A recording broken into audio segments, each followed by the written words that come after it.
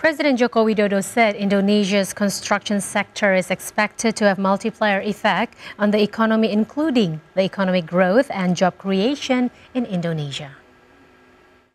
Sustain harus didukung oleh The coordinating minister for the economic affairs Airlangga Hartarto said that at the opening ceremony of Constructions Indonesia 2023 in Jakarta that President Jokowi has expected the construction sector to drive the economic growth in Indonesia and create jobs.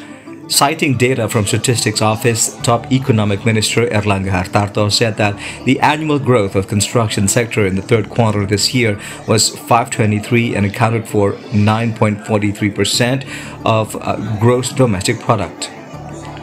Airlangga said, though, the construction sector has not adopted the digital technology to develop it compared with other sectors. The construction sector has seen relying on the old business model, making the only sector that's not adopted digital technology. Business industries have long supported the government move to employ digital technology to develop construction sector.